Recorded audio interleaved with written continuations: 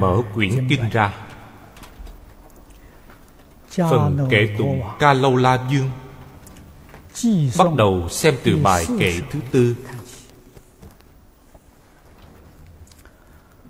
Như lai nhất nhất mau khổng trung. nhất niệm phổ hiện vô biên hạnh. Như thị nan tư phật cảnh giới. bức thoái trang nghiêm tức minh đổ.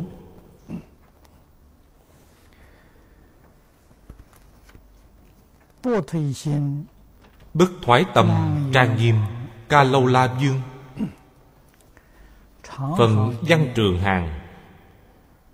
Chúng ta đã thấy. Ngài đã đắc dũng mãnh lực nhập như lai cảnh giới giải thoát môn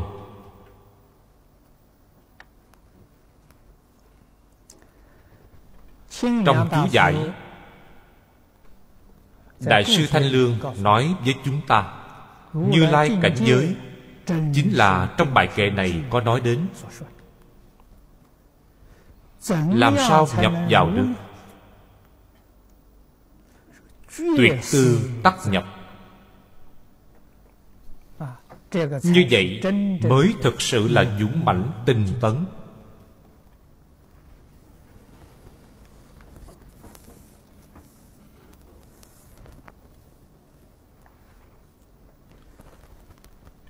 kỳ thực.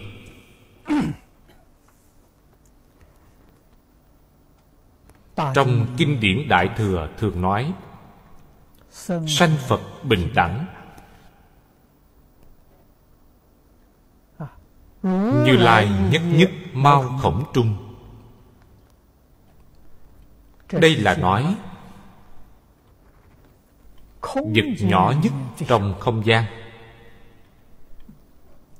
nhất màu khổng một lỗ chân lông trên thân của ta. Là thứ nhỏ nhất trong không gian. Nhất niệm là thời gian ngắn nhất.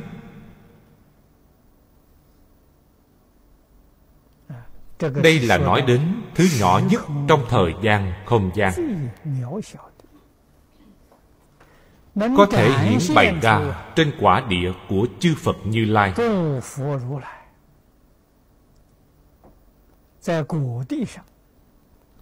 chẳng những trên quả địa mà vô lượng kiếp tu nhân. đều có thể hiển bày viên mãn trong đó.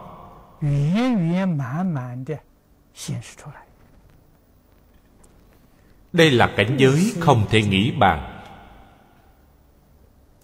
câu thứ ba nói như thị nan tư phật cảnh giới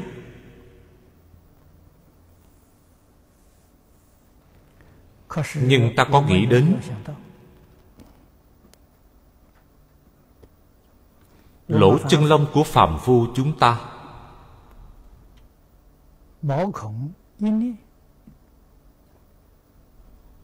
Một niệm có thể hiện cảnh giới chăng? Nếu nói không thể, thì phật và chúng sanh không bình đẳng. Mê ngộ có sai biệt. Không thể nói mê ngộ không hay.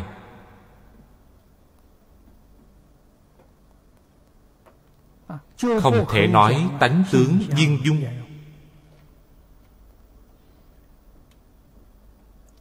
Từ đó cho thấy lỗ chân lông, một niệm của tất cả chúng sanh không phải không hiện cảnh giới. Vì sao một lỗ chân lông, một niệm của như lai là tự tánh biến hiện? Duy tâm sở hiện, duy thức sở biến. Chúng sanh, phàm phu chúng ta, thậm chí là chúng sanh ác đạo chân lòng một niệm cũng là duy tâm sở hiện duy thức sở biến không hề sai khác.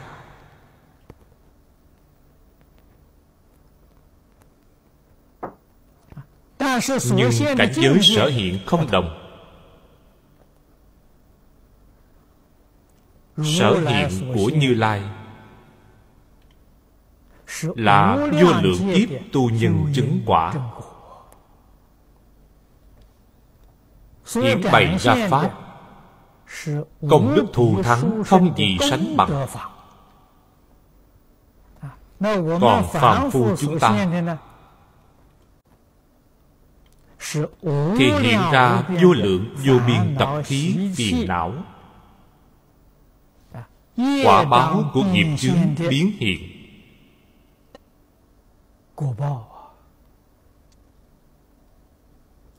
cảnh giới hiện ra không giống nhau. Đạo lý này nhất định chúng ta phải hiểu. Nếu hiểu rõ ràng đạo lý này ta mới thực sự hiểu được đạo lý cảm ứng đạo giáo. Cảm ứng đạo giao không thể nghĩ bàn. Tất cả chúng sanh trên có thể cảm ứng với tất cả phật.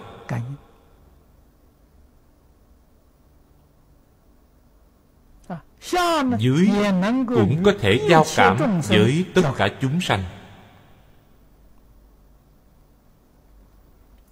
Như vậy mới thật sự thể hiện được tất cả chúng sanh trong hư không pháp giới.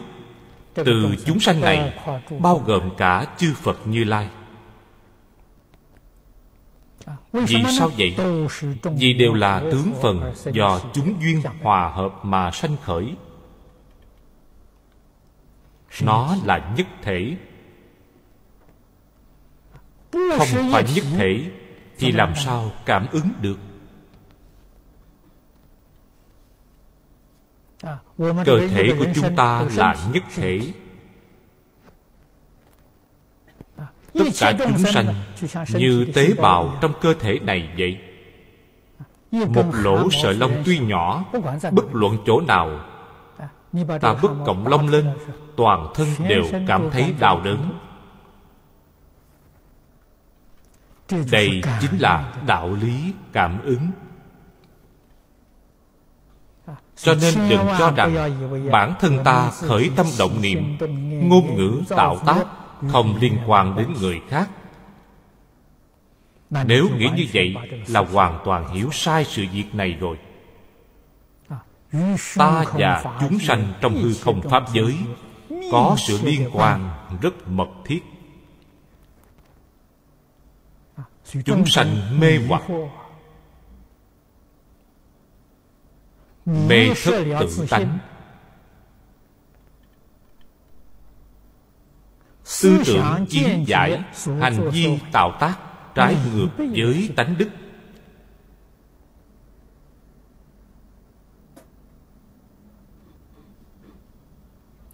Cho nên bị khổ báo oan uổng rất nhiều.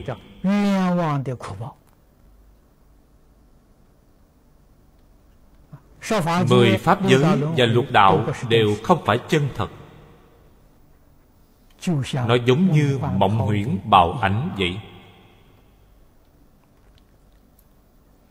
Con người sống trong lục đạo giống như hàng ngày nằm mộng. Nằm ác mộng mà vẫn chưa tỉnh ra.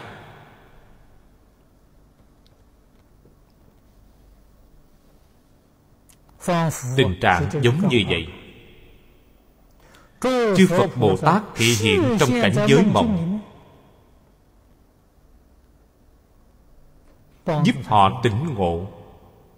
Giúp họ quay đầu.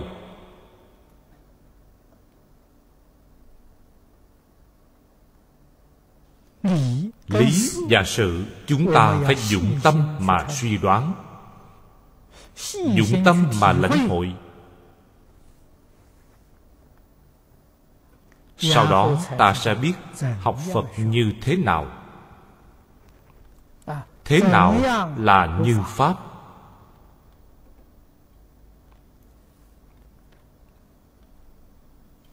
Khiến sự tu học của ta đạt được thành quả thù thắng.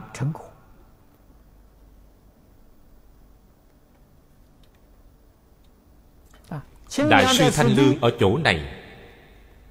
Chú giải rất hay. Kệ tụng không có chú giải văn trường hàng có chú giải trong phần chú giải trường hàng nói với chúng ta tuyệt tư tắc nhập phương di dũng mãnh.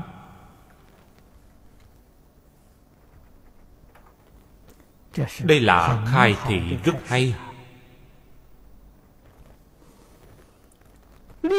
Lìa tất cả vọng tưởng phân biệt chấp trước. Cảnh giới này sẽ hiện tiền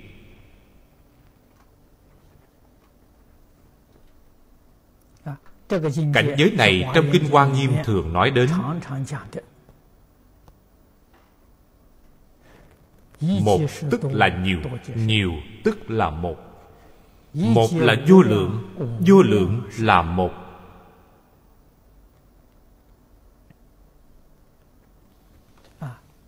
Một lỗ chân lông là một một niệm là một. Vô biên hạnh là nhiều là vô lượng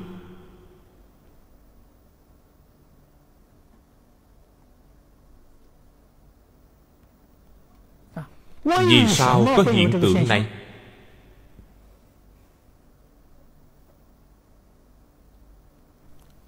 hiện tượng này là tánh đức.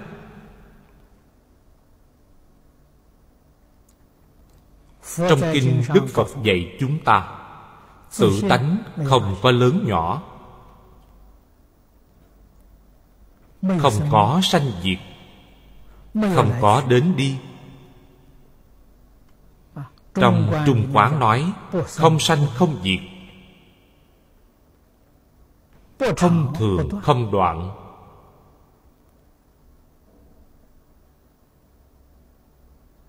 Không đến không đi. Đây là nói về hiện tượng của tự tánh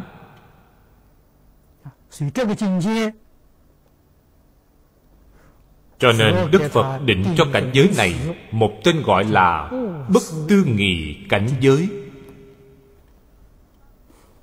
Bồ tát thế nhập. Bất tư nghị giải thoát cảnh giới. Chúng ta thấy trong đề kinh của tứ thập hoa nghiêm. Đoạn này trong bát thập hoa nghiêm gọi là nhập pháp giới dùng từ rất đơn giản. Nhập pháp giới, tứ thập hoa nghiêm nói kỹ hơn. Hai bộ này hợp lại xem, chúng ta sẽ hiểu được thế nào gọi là pháp giới. Định nghĩa về pháp giới là gì? Đề mục trong tứ thập quan nghiêm là Nhập bất tư nghị Giải thoát cảnh giới. Thì ra Bất tư nghị giải thoát cảnh giới Gọi là Pháp giới. Pháp giới chắc chắn là ngôn ngữ đạo đoạn Tâm hành xứ diệt.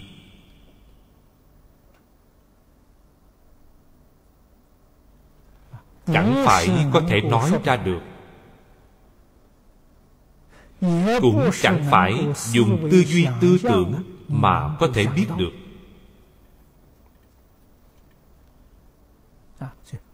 như thị nang tư, phật cảnh giới. Phật cảnh giới chư vị nên nhớ. Không phải cảnh giới của phật tỳ lô giá na, của phật a di đà, của Phật Thích Ca Mâu Ni. Nếu nói như vậy, Sẽ không liên quan gì đến chúng ta. Phật là gì? Phật nghĩa là giác ngộ triệt để. Nếu chúng ta giác ngộ triệt để rồi Cảnh giới này sẽ hiện tiền.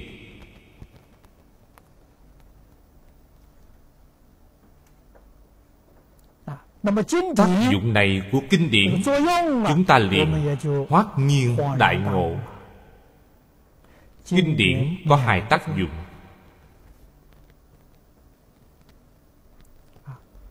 Khi chưa ngộ chúng ta còn ở chỗ mê kinh điển giúp ta giác ngộ.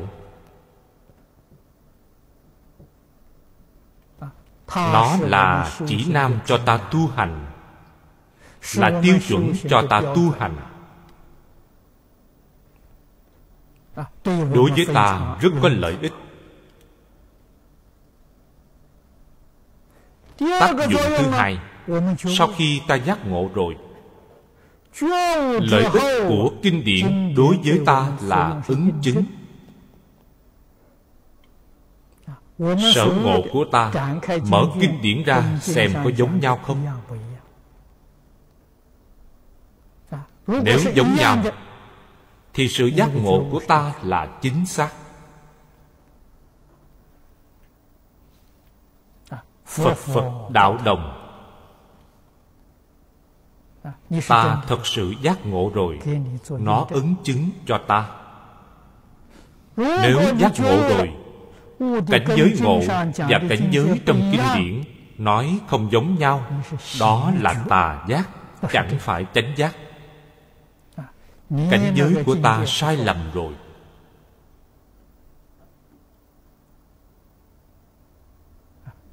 Lợi ích của kinh điển ở thế gian chúng ta phải hiểu cho rõ ràng cho thấu đáo. Sau đó chúng ta sẽ quan sát được. Trên thế gian này có một số người nói họ đã khai ngộ. Họ đã chứng quả. Họ đã thành phật thành bồ tát nhưng so sánh ngôn hành của họ không giống trong kinh nói. thì đây là giả không phải thật. nếu họ thật sự là bồ tát là a la hán là phật tái lai thì tư tưởng kiến giải hành vi của họ chắc chắn tương đồng với kinh phật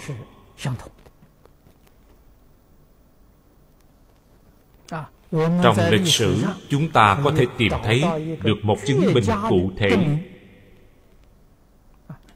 lục tổ huệ năng của thiền tông ngài thực sự là người giác ngộ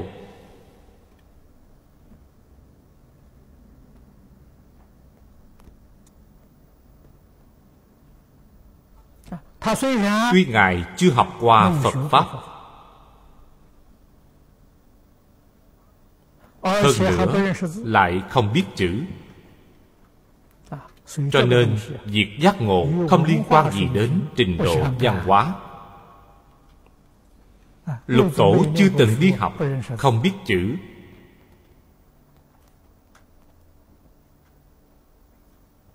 Thèn chốt nằm ở chỗ nào? Tuyệt tư bèn thế nhập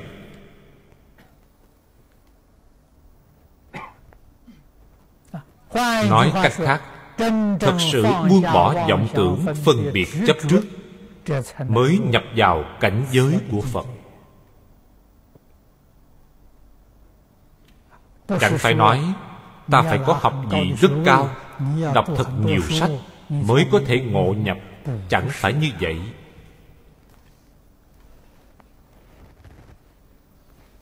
cho nên việc học đạo khác với việc cầu học ở thế gian.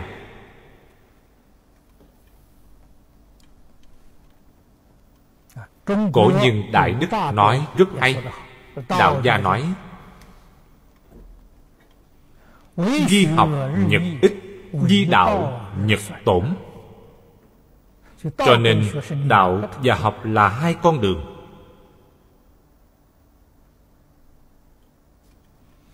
di đạo nhật tổn.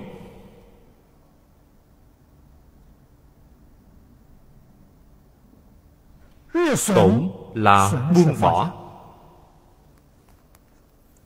Buông bỏ tất cả vọng tưởng phân biệt chấp trước của mình.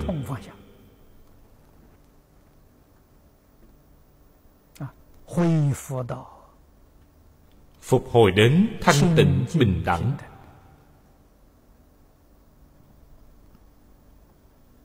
ta sẽ có thể nhập vào cảnh giới. Người gì học ở đời.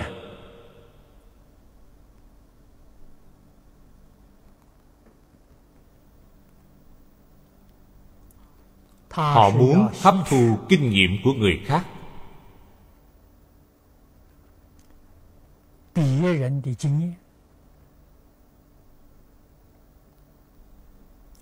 Cho nên vì học phải tăng trưởng mỗi ngày. Ít là tăng trưởng mỗi ngày. mỗi ngày phải thêm lên. Quảng học đa văn.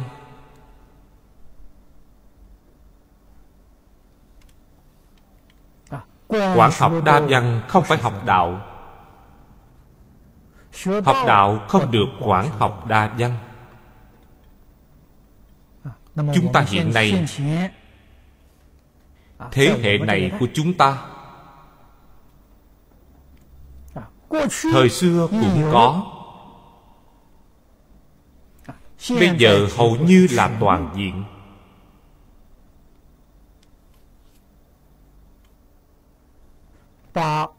Bỏ đi phương pháp vì đạo.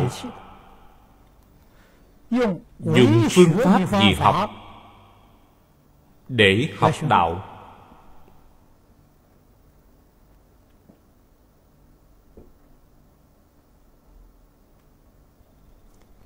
Phương pháp này thành tựu được. Có thể trở thành nhà phật học. giống như người ta thường nói gọi là nhà phật học. Thành tiến sĩ phật học nó không liên quan gì với đạo.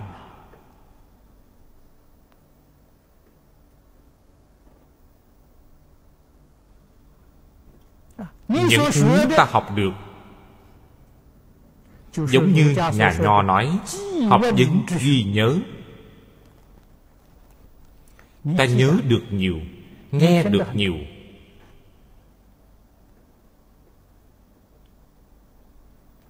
chẳng phải từ tự tánh lưu xuất.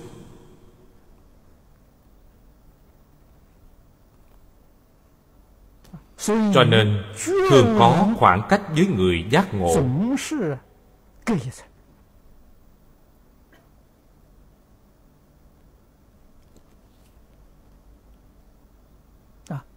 phương pháp của đại sư huệ năng chúng ta có thể lãnh hội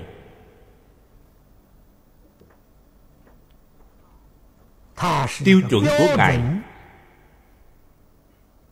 là hoàn toàn dùng phương pháp di đạo để cầu đạo. Cho nên trong thời gian ngắn liền thành tựu. Tuy ngài chưa học qua nghe những điều ngài giảng mỗi câu đều tương ưng với kinh phật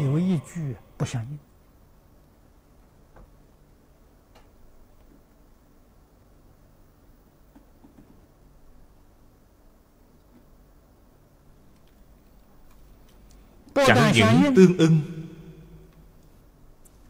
cổ nhân giảng kinh.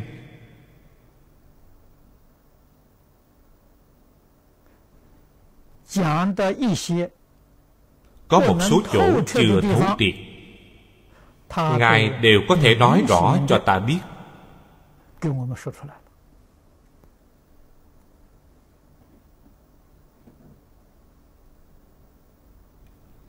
từ đó cho thấy tuy cổ nhân biết giảng kinh cũng có thể chứng nhập. nhưng chứng nhập chưa viên mãn cho nên giảng chưa thấu triệt. Đại sư huệ năng giảng thấu triệt. Điều này thật hiếm có ngài học cách nào?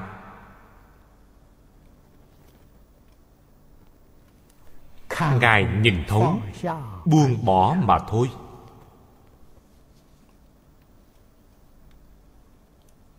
Công phu thật sự học vấn thật sự được kiến lập từ đây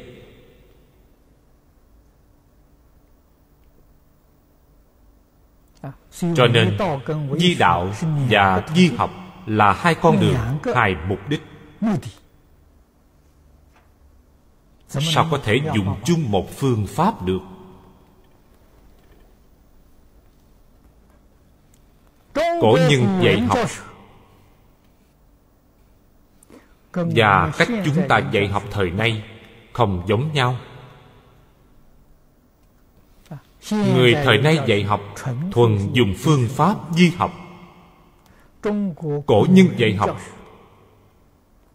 Chú trọng di đạo.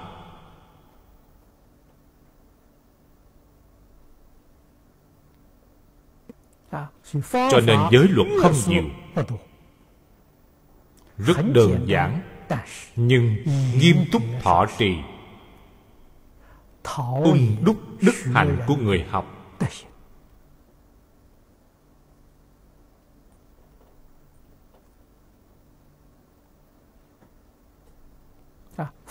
đức phật dạy chúng ta cũng rất đơn giản. Giảng thì chi tiết cường yếu không nhiều.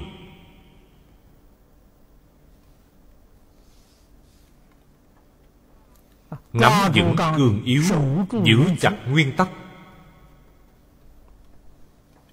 y giáo phụng hành ta sẽ khế nhập. Nhập vào cảnh giới này rồi. Cảnh giới này là tránh là tà là chân là vọng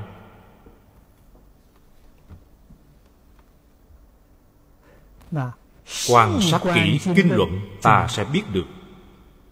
Kinh luận chứng minh cho ta vì sao kinh luận nhiều như vậy? Đức phật nói suốt 49 năm mà chưa xong.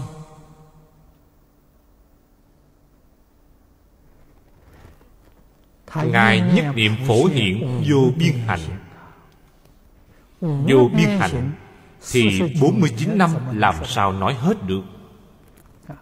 49 năm cũng chỉ nói sơ lược mà thôi Chúng ta mới hoát nhiên đại ngộ. Chỉ cần đại cương không sai.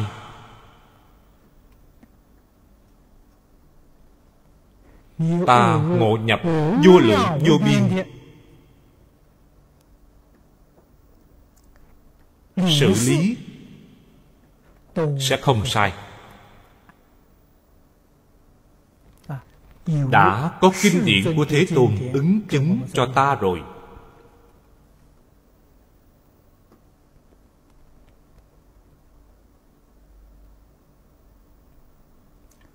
Đức hiệu của bồ tát có chữ bất thoái.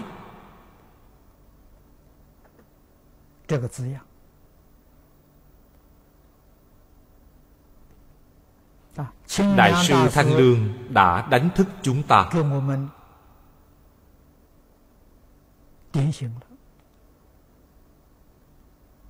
bất thoái chính là tinh tấn. Tinh tấn nghĩa là buông bỏ.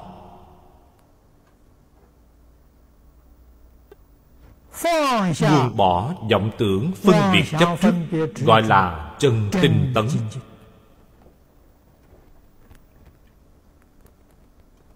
từ đó cho thấy vì sao chúng ta bị thoái lui? thoái lui.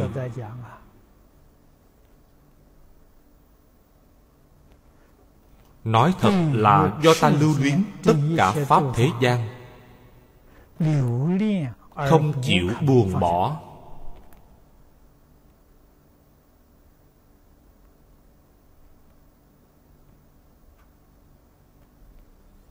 đây là nguyên nhân khiến ta thoái chuyển. Trong cảnh giới có nhiều cám dỗ khơi ra tham sân si mạng của ta. Đây là thoái duyên. Nhân xấu và duyên xấu đều đủ cả. Làm gì có chuyện không thoái chuyển do đó thật sự tinh tấn là thật sự buông bỏ. thật sự buông bỏ tự nhiên sẽ bất thoái chuyển như thế mới nhập vào cảnh giới phật gọi là nhập phật cảnh giới. Trên thực tế chính là bình thường chúng ta nói thông đạt hiểu rõ chân tướng của nhân sinh vũ trụ. Đây là cảnh giới phật. Trong kinh thường nói là pháp giới. Chân tướng của nhân sinh vũ trụ.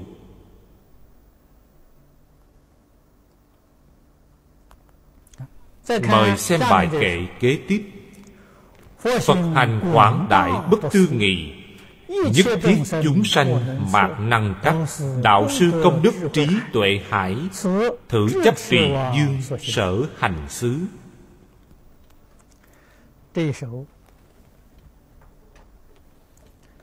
Bài kệ này đại sư thanh lương có giải thích. Đảng đệ ngũ kệ hoặc hữu tiền thoát cố lược thích chi? Bản tiếng phạn truyền đến trung quốc. Đoạn này đã bị thất lạc. Trong chú giải ở trước cũng đã nói.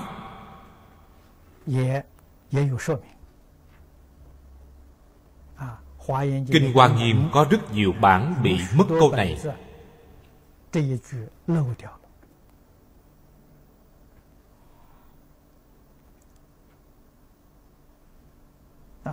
bồ tát đắc pháp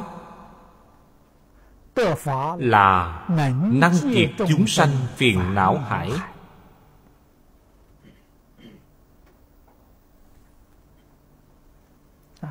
Trong sớ.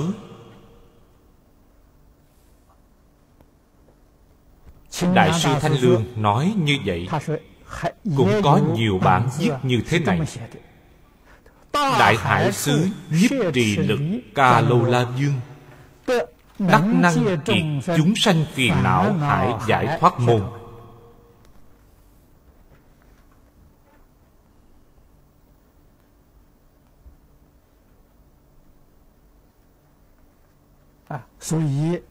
Cho nên bộ kinh này đã thêm vô đoạn này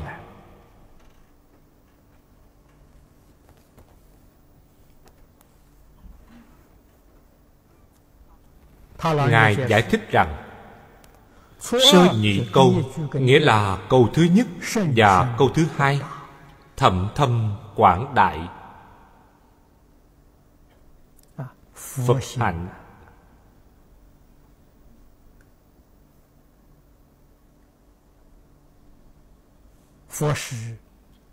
Phật là người giác ngộ triệt để cứu cánh viên mãn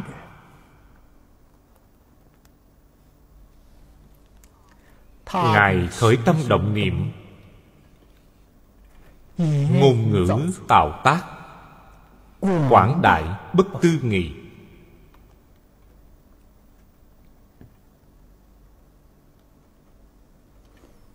Sao nói là quảng đại?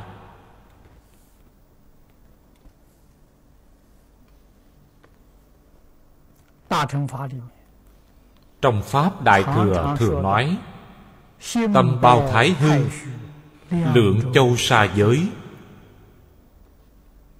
Đây là tâm phật.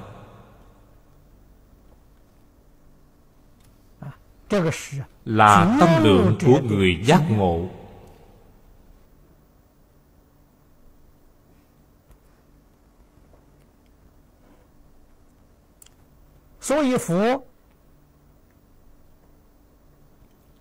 cho nên bất cứ ý niệm nào của phật câu nói nào của phật động tác nào của phật đều là lợi ích cho chúng sanh trong hư không pháp giới. Hạnh này rộng lớn.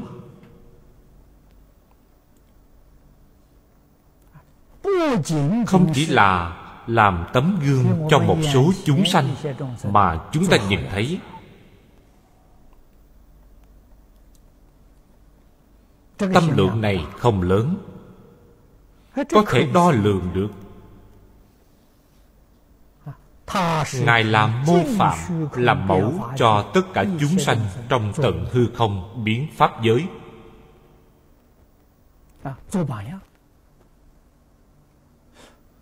chư phật như lai. Hiện thân thuyết pháp. Là vì điều này. Chắc chắn không vì bản thân. Cho nên gọi là giác giả. Trong đây thêm vào chữ bản thân là mê rồi trong kinh kim cang nói rất rõ. Có ngã tướng nhân tướng chúng sanh tướng thọ giả tướng là mê là phàm phu nhất định không phải bồ tát. Bồ tát là tiếng phạn. Nghĩa là hữu tình chúng sanh giác ngộ quyền trang đại sư dịch là giác hữu tình. Nói cách khác, tình của họ chưa đoạn sạch sẽ, chỉ là giác ngộ thôi. Đến quả vị như lai không gọi là giác hữu tình nữa, mà gọi là phật. Phật là giác, không có hữu tình bồ tát giác còn có hữu tình.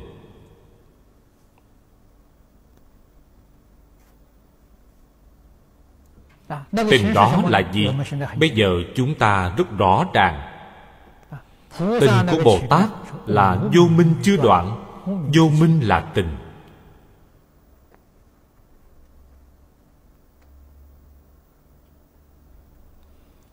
Ngài đoạn được chấp trước rồi phân biệt cũng đoạn rồi. Chấp trước là kiến tư phiền não. Phân biệt là trần sa phiền não.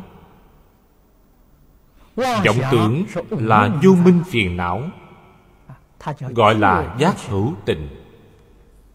Vô minh phiền não chưa đoạn tận. Đẳng giác vẫn gọi là bồ tát. Vì sao vậy? vì còn một phẩm sanh tướng vô minh chưa phá. Một phẩm sanh tướng vô minh? cũng đoạn tận gọi là phật không gọi là bồ tát nữa. Hoàn toàn xưng là giác chứ không gọi là giác hữu tình. Những danh từ thuật ngữ này chúng ta phải phân biệt rõ ràng. Ngày nay chúng ta đang trên con đường nào? Ta là hữu tình. Hữu tình có giác hay không? Nếu có giác, thì ta đang ở chỗ bồ tát đạo rồi.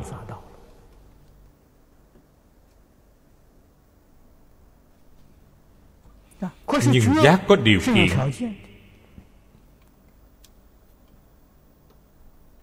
Phải phá được ngã chấp mới gọi là giác. Ngã chấp chưa phá không thể gọi là giác.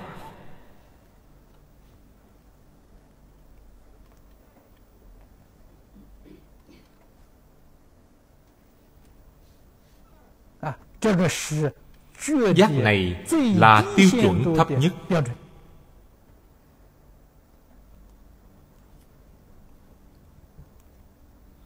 như trong kinh kim cang đức phật dạy nhược bồ tát hữu ngã tướng nhân tướng chúng sanh tướng thọ giả tướng tức phi bồ tát. Đó không phải là bồ tát. Bồ tát chắc chắn là vô ngã tướng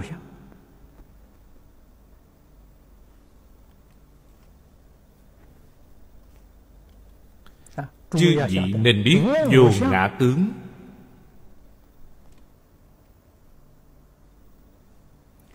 Đoạn được kiến hoặc.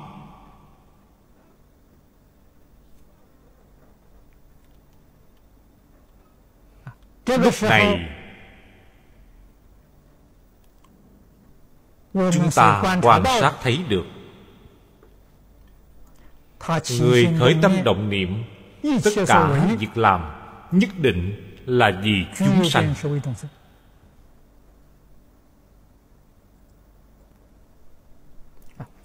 tất cả mọi hình tướng họ thị hiện là để cho chúng sanh xem.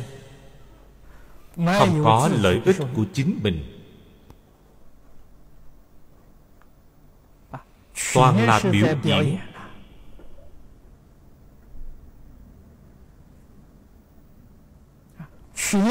toàn là giúp chúng sanh giác ngộ. giúp chúng sanh đoạn ác tu thiện. người này là bồ tát. Nếu trong đó còn tham chấp có ngã người này không phải bồ tát. Họ là phàm phu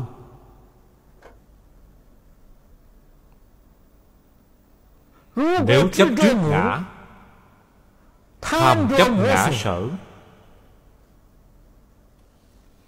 Lợi dụng phật pháp để đạt được mục đích tham chấp người này là ma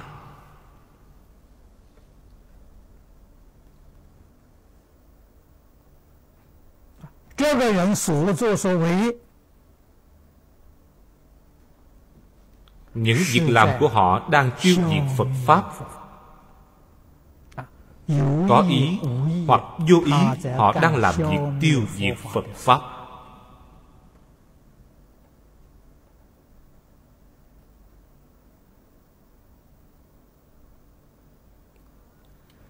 Hèn chi cổ nhân thường nói, địa ngục môn tiền tăng đạo đa. Vì sao vậy?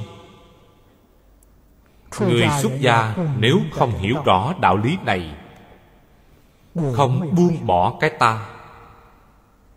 Tuy là người xuất gia nhưng vẫn tranh danh đoạt lợi.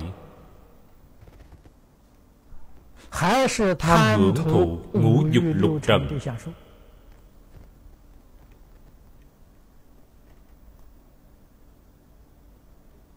vô hình trung. lợi dụng phật pháp làm mọi thủ đoạn đạt được danh văn lợi dưỡng của bản thân tham ngũ dục lục trần.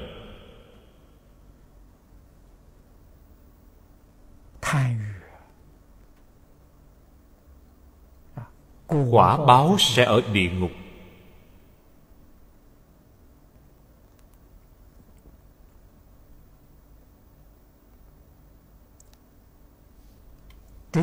đây là một việc rất nghiêm trọng.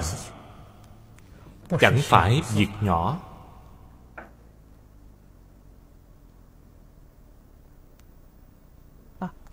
Tuy trong phật pháp nghe pháp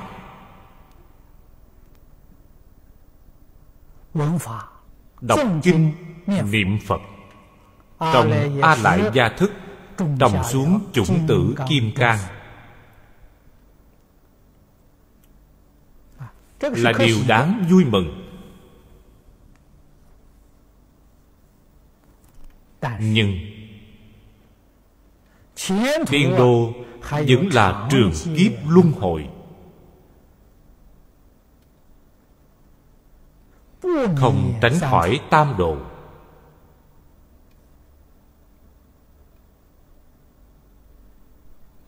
điều này thật đáng sợ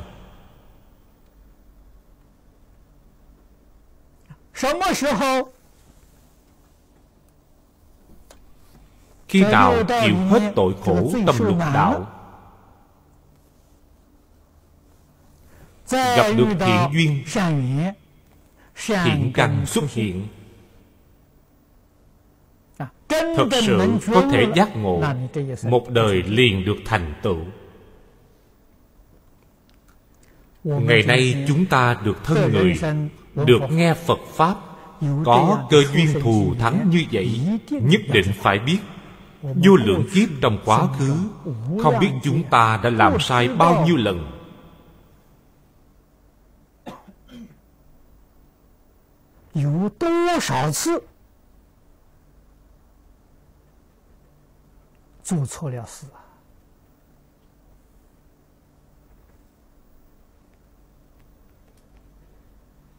đem Phật Pháp. Lợi dụng Phật Pháp. Cầu danh văn lợi dưỡng của bản thân.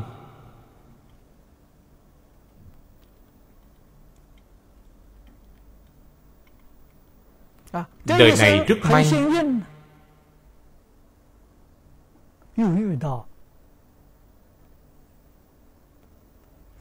lại gặp được nhân duyên Phật Pháp thù thắng. Trong kinh luận Lãnh hội được đạo lý này. Quan sát được những hiện tượng sự thật này. Chúng ta không thể sai lầm nữa. Đời xưa làm sai Không sao hết. Trong đời này Nhất định không được làm sai. bắt buộc phải buông bỏ danh văn lợi dưỡng. Tự tư tự lợi tham sân si mạng ngũ dục lục trần.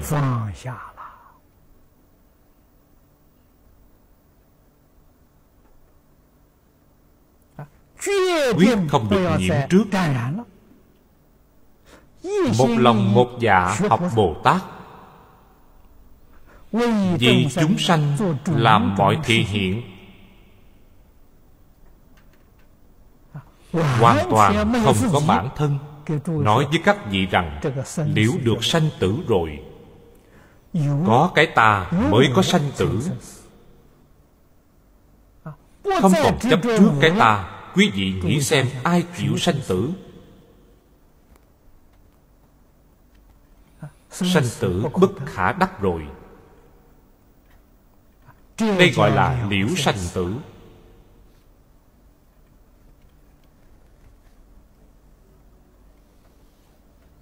gốc của sanh tử chính là ngã chấp. Là thân kiến. Có thân kiến thì có sanh tử có phiền não có quả báo.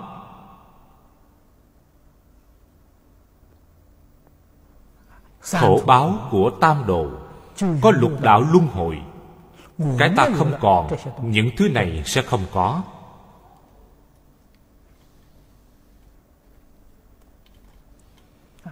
quả báo thấp nhất cũng là tứ thánh pháp giới.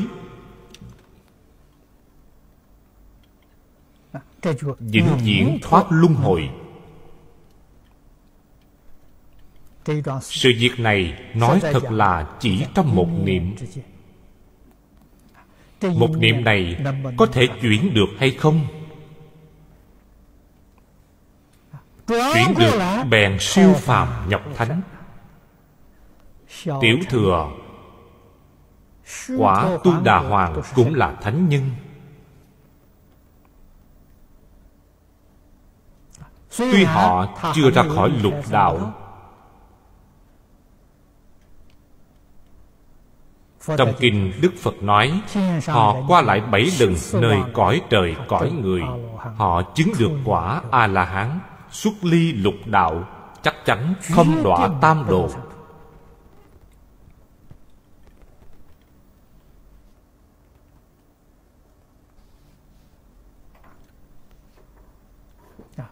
từ đó cho thấy vọng tưởng chấp trước tự tư tự lợi đã làm hại chúng ta vô lượng kiếp đời đời kiếp kiếp lưu chuyển trong lục đạo nguyên nhân chính là đây nguyên nhân tuy nhiều đây là nhân tố đầu tiên nhân tố quan trọng nhất.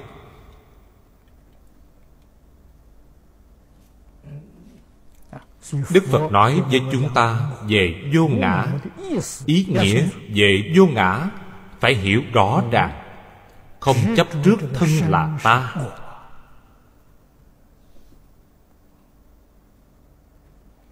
Hiện tượng phổ biến trong lục đạo phàm phu chấp trước thân tướng là ta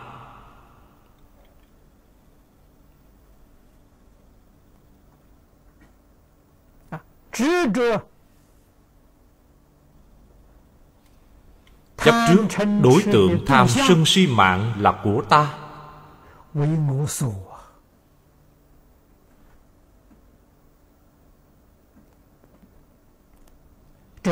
Đây là sai lầm lớn. là cội rễ sai lầm.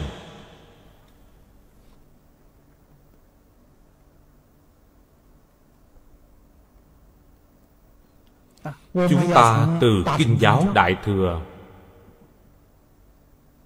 và hoàn cảnh hiện thực. Y chánh trang nghiêm trước mắt ta. Ở trong đây giác ngộ. ở trong đây lãnh hội.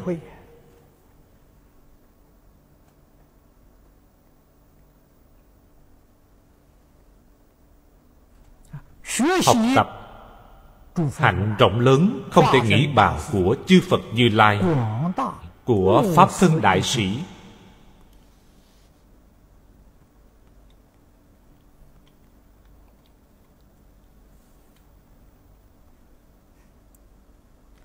Học niệm niệm lợi ích tất cả chúng sanh. Niệm niệm vì chánh pháp chủ thế lâu dài.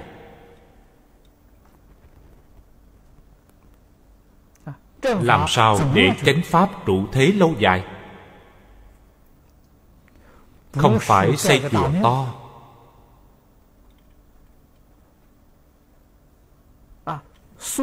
Tạc tượng bồ tát bằng vàng, bằng đồng. Lưu thông kinh điển. Như vậy là phật pháp cửu trụ sao? Không phải vậy.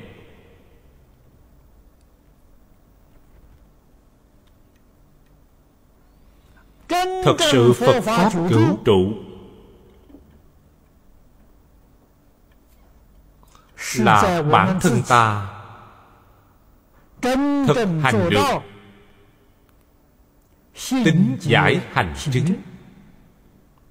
pháp mới có thể cửu trụ. Ta thực hành được bốn chữ này đại chúng trong xã hội, mới khởi tâm kính ngưỡng, tâm tôn trọng đối với phật pháp, khởi rồi học tập theo pháp. Như vậy mới cứu trụ.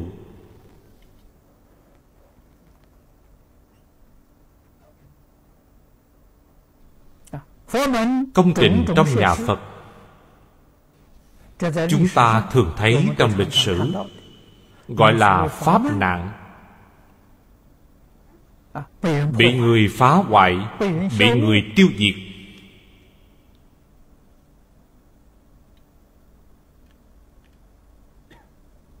Trong đó có thiên tai, có nhân quả.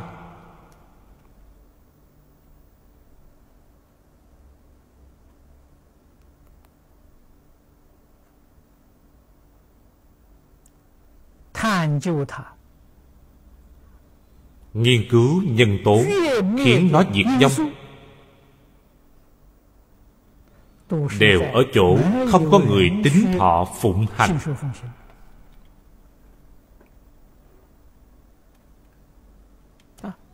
không có người tính giải hành chứng.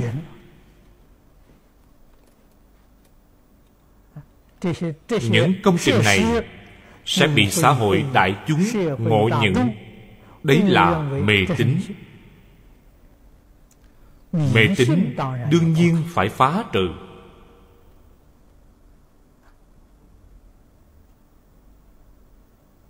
Xã hội đại chúng phá trừ mê tín. Không đáng trách lắm. cho nên thật sự diệt pháp là do đệ tử phật môn chúng ta không y giáo phụng hành.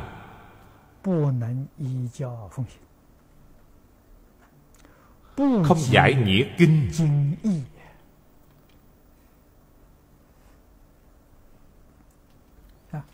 Người học phật tuy nhiều vẫn là mê tín không tránh tính chánh pháp sao có thể cứu trụ?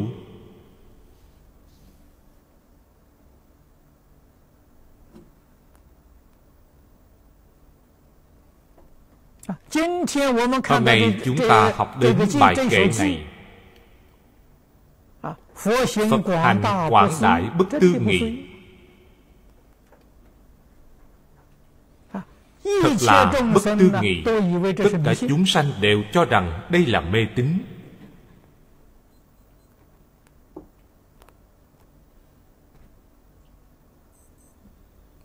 Lỗi lầm này do ai gây nên? Chẳng phải phật bồ tát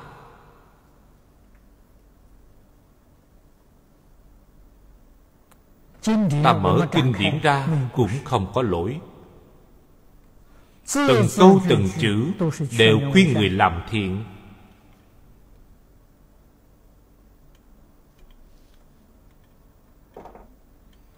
Đều dạy người giác ngộ.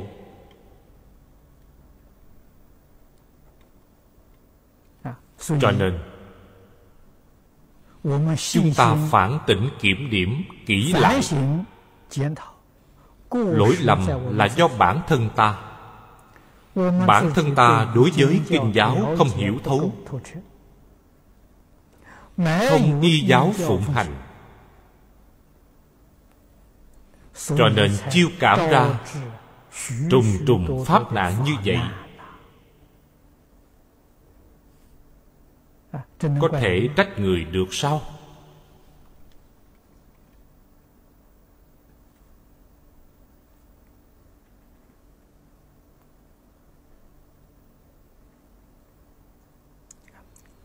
Câu thứ ba. đại sư thanh lương giải thích rất hay. Phước trí tướng nghiêm hành thông nhân quả.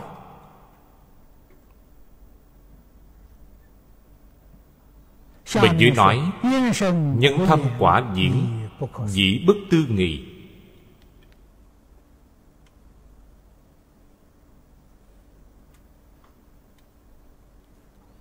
Đạo sư là tôn xưng đối với Phật.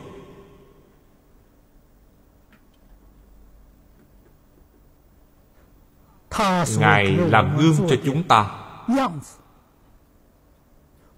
Ta nên học tập.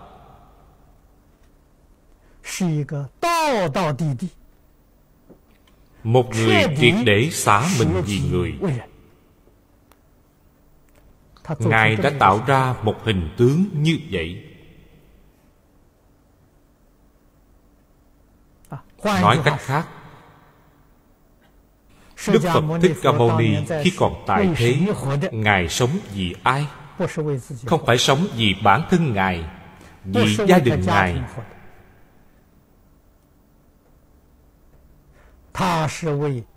ngài sống vì tất cả chúng sanh khổ nạn trên thế gian. Không phải vì bản thân.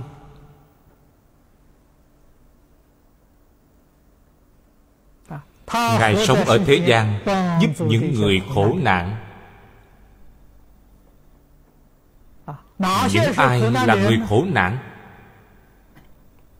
Mê hoặc điên đảo là người khổ nạn tạo ác nghiệp là người khổ nạn.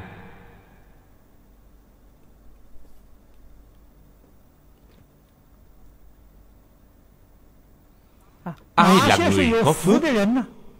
đoạn ác tu thiện là người có phước. Phá mê khai ngộ là người có phước.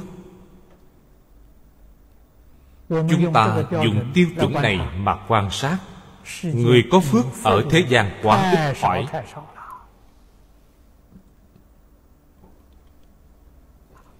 người khổ nạn lại quá nhiều。tiêu chuẩn của phật và tiêu chuẩn của người thế gian chúng ta không giống nhau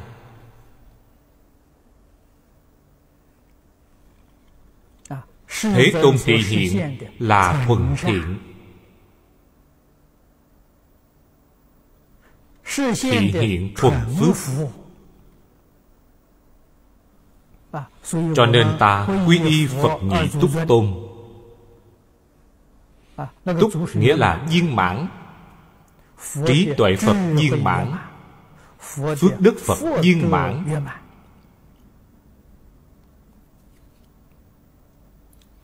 phước đức này là không tạo ác nghiệp.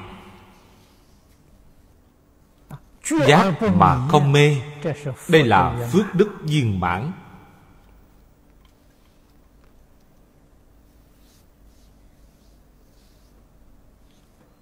Chúng ta khởi tâm động niệm chưa quên được cái ta.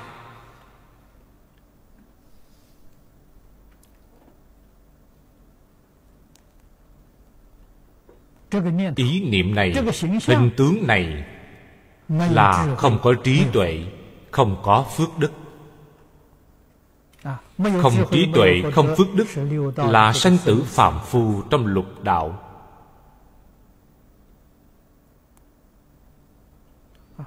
Khi nào ta thật sự giác ngộ thật sự quay đầu hành vi của ta chúng sanh có nhìn thấy họ cũng không thể đo lường.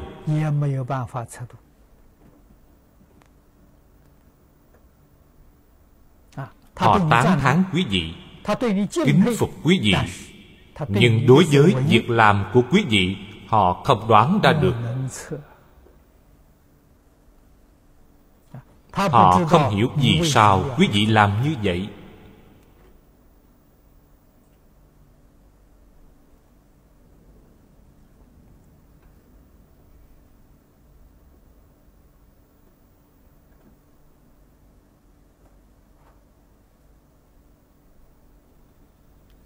mấy tháng trước tôi ở hồng kông.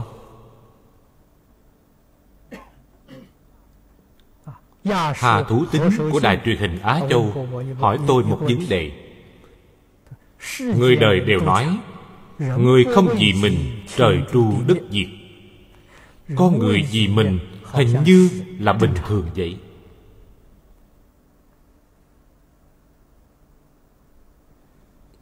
câu nói này làm hại chúng sanh. Chư phật bồ tát không vì mình. Trời không tru ngài đất không diệt ngài. Trời đất còn rất tôn trọng các ngài.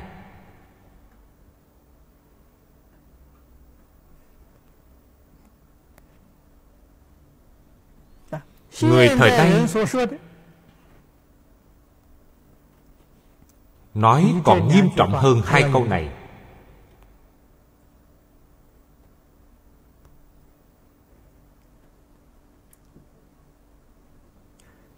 Người phương tây nói tham lam là động lực khiến cho xã hội tiến bộ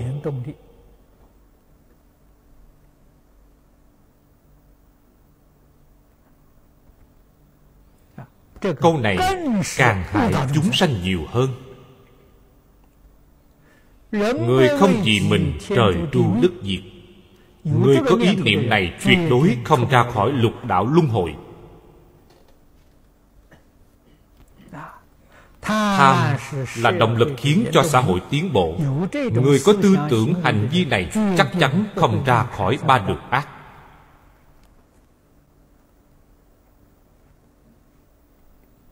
chúng ta rất rõ ràng rất minh bạch.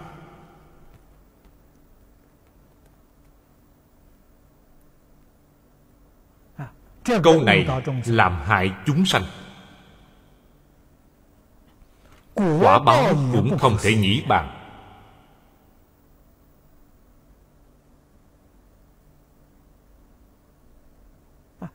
Quả báo mà họ gánh chịu cũng là nhất thiết chúng sanh mạt năng trách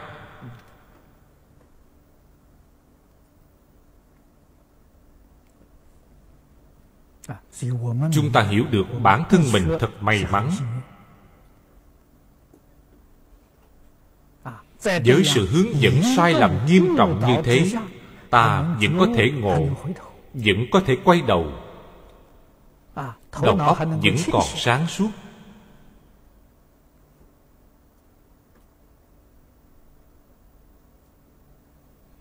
Điều này không thể không nói là do nhiều đời nhiều kiếp huân tu thiện căn phước đức.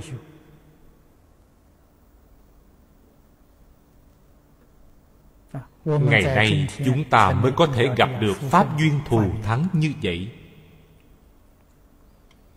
Ngày nay đối diện với phật pháp quan trọng nhất ta phải học phật.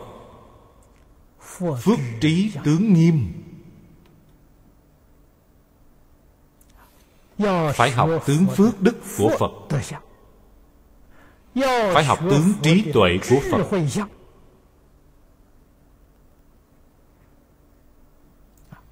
Đầy đủ trí tuệ.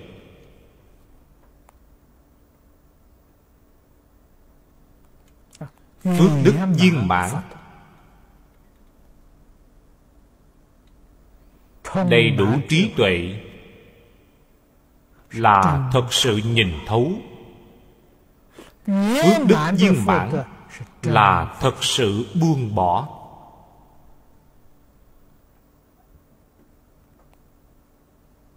Hình tướng của ta trang nghiêm không gì sánh bằng.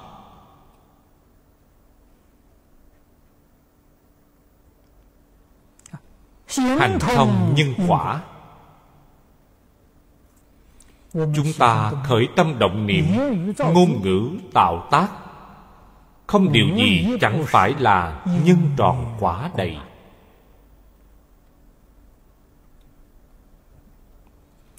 Trong nhân có đầy đủ quả đức. trong quả có đầy đủ nhân hành.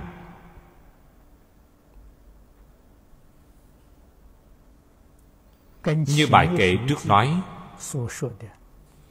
nhất niệm phổ hiện, vô biên hạnh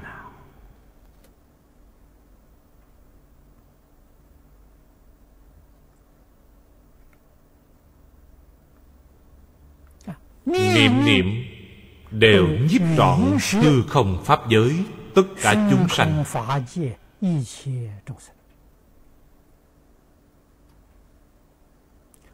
Không sót một ai trong kinh điển đại thừa thường nói phật thị môn trung bất xả nhất nhân không sót một ai.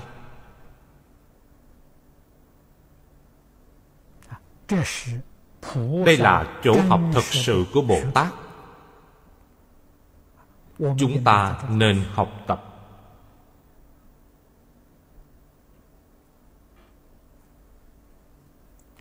trong chú giải phía sau đại sư có nói phục hữu nhất hành thị như lai hành sở dĩ đại thừa đại bát niết bàn. Tắc hành vi quả quả. Giai tuyệt ngôn đạo. Phật hành như xuất hiện phẩm cái này để lại giảng sau.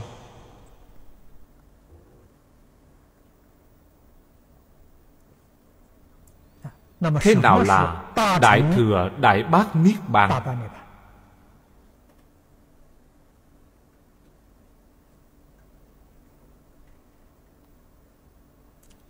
Đại nghĩa là tán thán.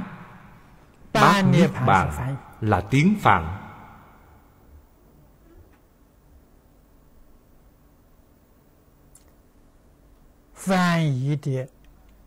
danh từ này dịch ra rất nhiều.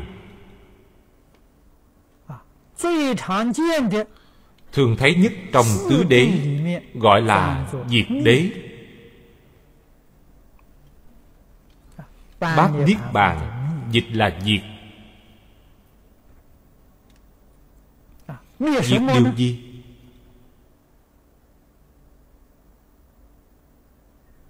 diệt tập khí phiền não.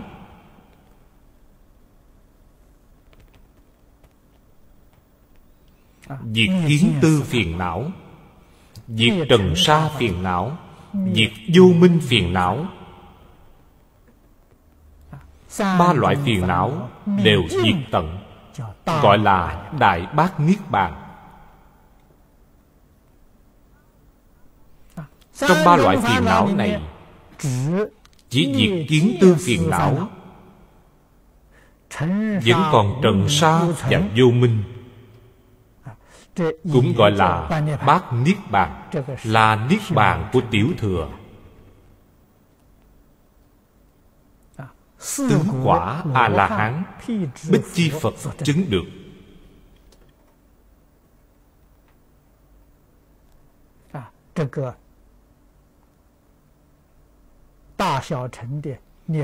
niết bàn của tiểu thừa và đại thừa phân biệt như vậy. Còn một từ thường dịch ra nữa dịch là viên tịch.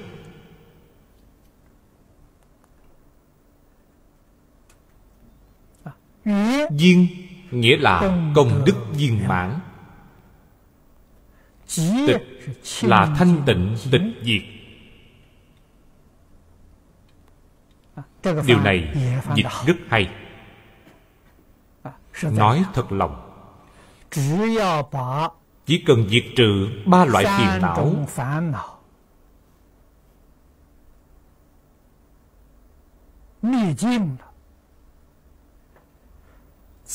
tam đức mật tạng của tự tánh tự nhiên hiện tiền pháp thân bát nhã, giải thoát là công đức. Đây là đức.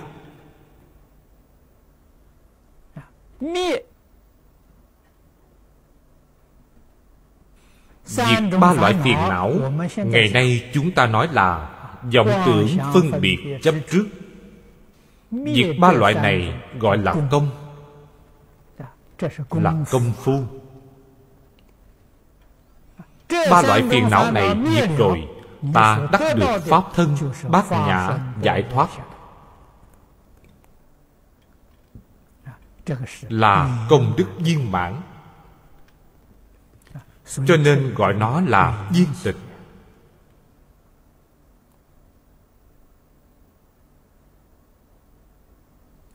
Nhưng tự viên tịch này, hiện nay có rất nhiều người sử dụng sai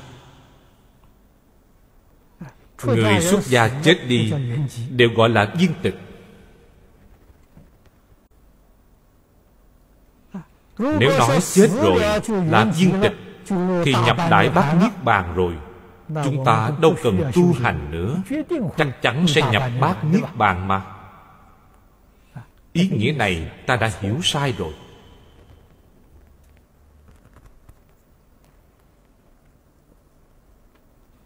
người nhập đại bát niết bàn. Không nhất định là chết. Lúc còn sống đã nhập rồi.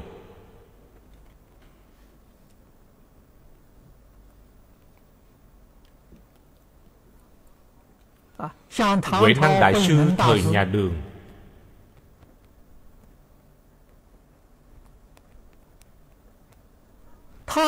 Nếu Ngài không nhập Đại Bát Niết Bàn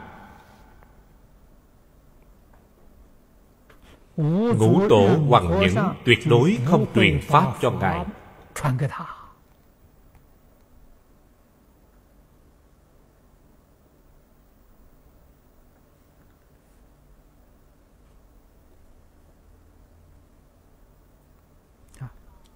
Đại Bát Niết Bàn Ở Trung Quốc Tục xưng là đắc đạo Tu hành chứng quả Đắc đạo Đều là ý này. Trong đây Đại Bát Niết Bàn Có nông cạn khác nhau.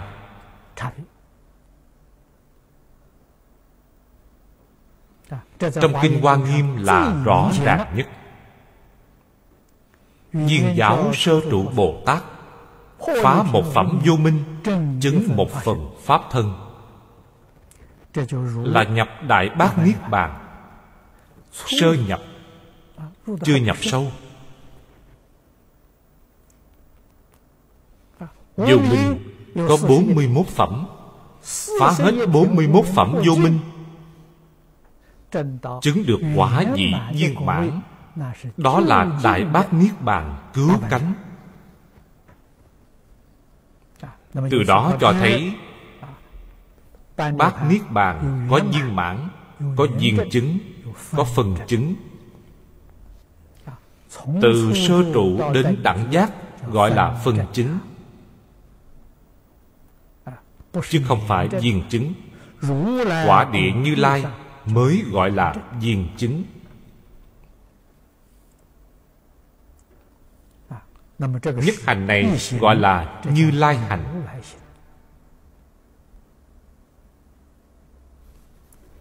sự nhắc nhở này của đại sư thanh lương rất quan trọng.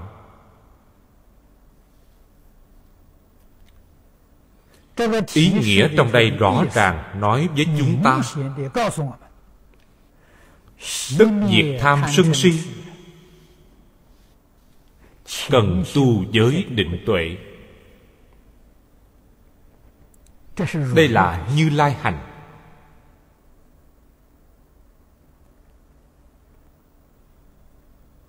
Đây là câu nói phổ biến trong kinh. Ở chỗ này ý nghĩa của nó rất sâu. Ngài nói đến đại thừa đại bát niết bàn.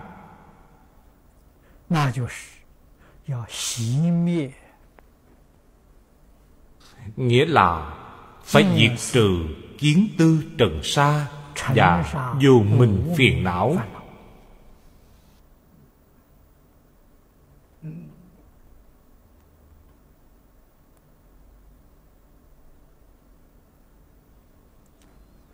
phải chứng được pháp thân bát nhã giải thoát. Đức diệt tham sân si. Cần tu giới định tuệ là tiểu thừa.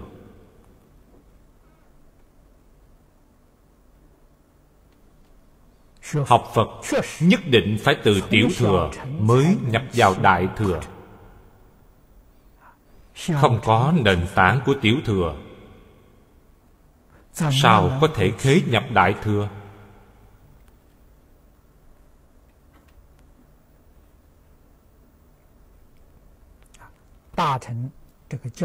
Giáo nghĩa đại thừa sâu rộng hơn tiểu thừa.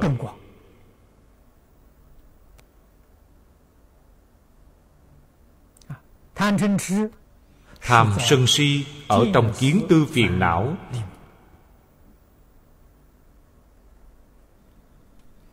trong trần sa và vô minh phiền não không có tham sân si. Cho nên tiểu thừa chỉ chứng được thiên chân niết bàn. Niết bàn. Của tiểu thừa chứ không phải là đại bác niết bàn.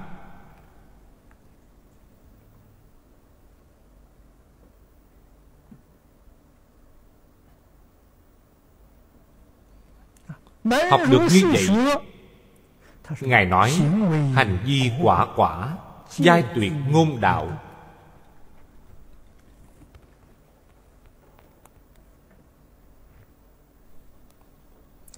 Hành vi quả quả.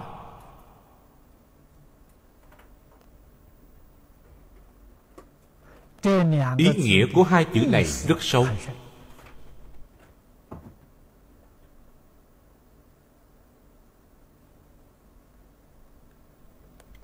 Ở trước nói hành thông nhân quả.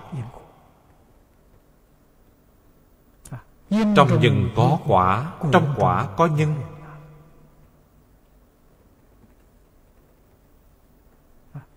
nhân quả tương tục.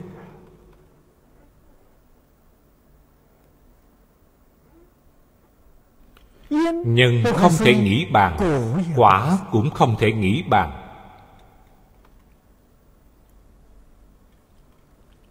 vì sao là không thể nghĩ bàn? Vì quá rộng lớn. Đúng là bồ tát tu đại nhân chứng đại quả. Trong kinh lăng nghiêm nhân gọi là như lai mật nhân. Quả gọi là thủ lăng nghiêm dương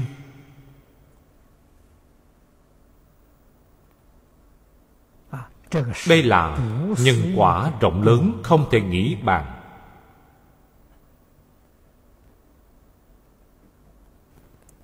Căn bản đều ở chỗ trừ bỏ sạch ý niệm tự tư tự lợi.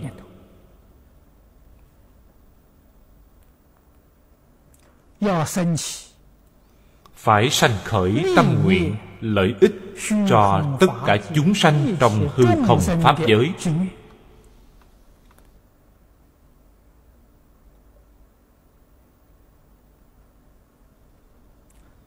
quý vị học được như vậy trong phật pháp gọi quý vị là chúng sanh có căn tánh đại thừa. Phật chia chúng sanh ra làm năm loại phân ra từ căn tánh đây là căn tánh đại thừa.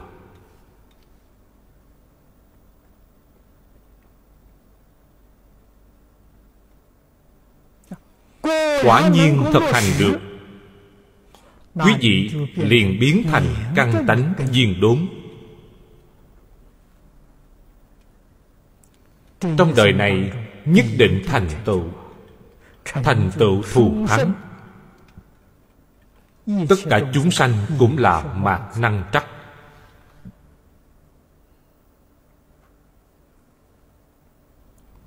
Làm được như vậy mới thực sự gọi là học phật.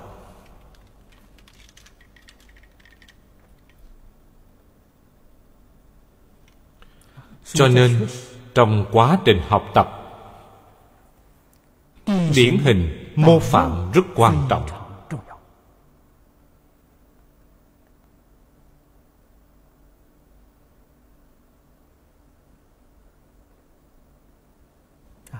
chúng ta thật sự muốn trong đời này thành tựu.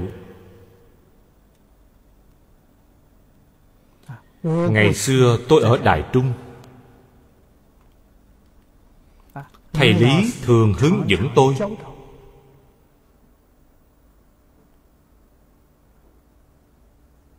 Chư vị đại đức từ xưa đến nay chúng ta tìm một vị điển hình. Tìm một vị mô phạm học tập với họ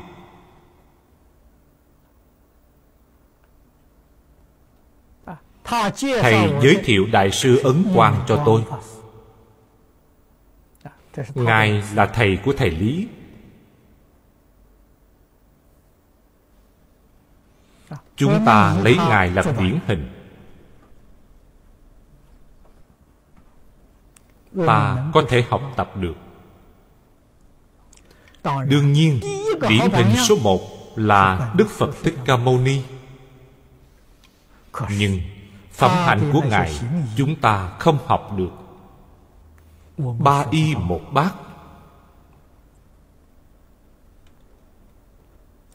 Ngày ăn một bữa đêm ngủ dưới gốc cây chắc chắn chúng ta không làm được học đại sứ ấn quang được. Chúng ta có thể làm được.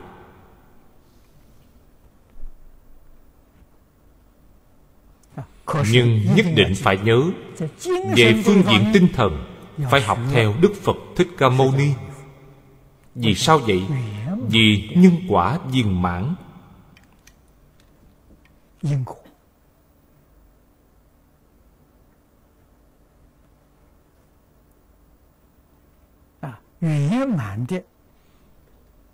nhân hành quả đức viên mãn. Về sự tướng sự tướng hiện thực nên học theo đại sư ấn quang.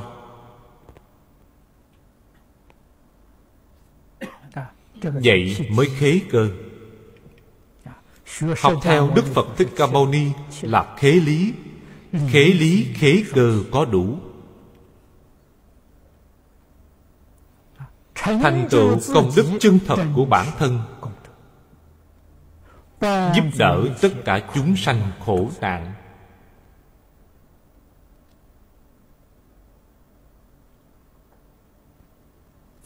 Làm được như vậy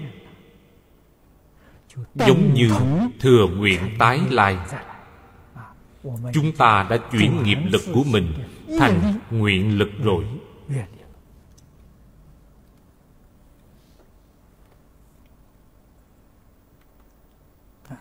đây là pháp môn đại hải sứ nhiếp trì lực bồ tát.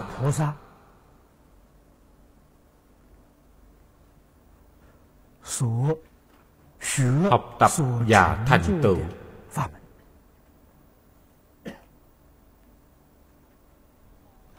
Giúp đỡ chúng sanh đoạn phiền não. Chứng bồ đề tự hành nghĩa là hóa tha hóa tha chính là tự hành。tự hành hóa tha là một chẳng phải hai đạo lý này chúng ta phải hiểu。về sự chúng ta phải nghiêm chỉnh nỗ lực mà học tập。thôi hôm nay hết giờ rồi